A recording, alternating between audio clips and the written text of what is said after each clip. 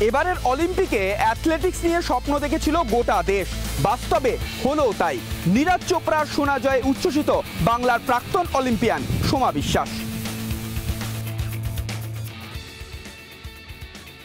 আমার সাথে রয়েছেন দু হাজার সালে সিডনি অলিম্পিকে অংশ নেওয়া বাঙালি অ্যাথলেট সোমা বিশ্বাস। কথা বলব ওনার সাথেই। দিদি, স্বাগত আপনাকে রিপাবলিক বাংলায়। করোনা আবহের মধ্যে অলিম্পিক হলো টোকিওতে এবং এই টোকিও থেকে সব থেকে বেশি পদক এলো দেশে। কি বলবেন?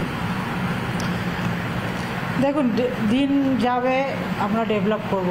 তো অবভিয়াসলি মেডেলের সংখ্যাও বাড়বে এবং আমার মনে হয় মেডেলের সংখ্যাটা আরেকটু ভালো হলে ভালো হতো। তবে এবারের অলিম্পিকটা যেহেতু স্পেশাল এখানে কোনো রকমই বিশ্লেষণ বা কোনো রকম মানে যুক্তি তর্ক চলে না। কারণ অলিম্পিকটা তো ক্যান্সেলই হতে চলেছিল এবং আমাদের ছেলেমেয়েরা শুধু আমাদের কেন, পুরো ওয়ার্ল্ডেই সবাই পারেনি টাচ করতে।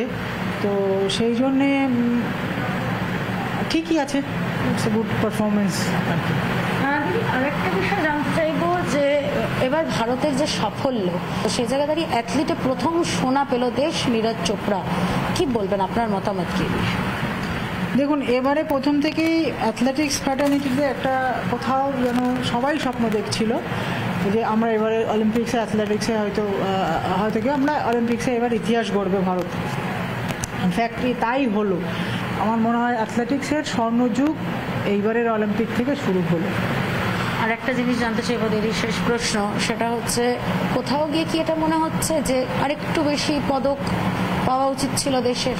দেখুন অবভিয়াসলি একশো তিরিশ, চল্লিশ কোটি দেশের মানুষ সেখানে অবভিয়াসলি পাওয়া উচিত। কিন্তু তার মধ্যেই একটা কিন্তু কারণ হচ্ছে অলিম্পিক্সের মতন জায়গাতে মেডেল পেতে গেলে আমরা কি প্রোভাইড করছি বা আমরা ট্যালেন্ট সার্চিং কেমন করছি, তাদের গ্রুমিং কেমন করছি সেটা কিন্তু দেখার বিষয় আছে।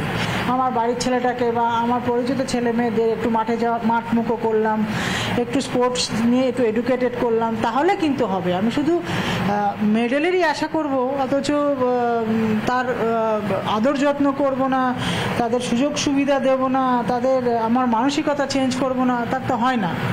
আপনি সুযোগ দিন, আমাদের মানসিকতা চেঞ্জ করুন, তাহলে আমরা নিশ্চয়ই পদ- পদকের আশা করতে পারি। অনেক ধন্যবাদ আপনাকে, দিদি।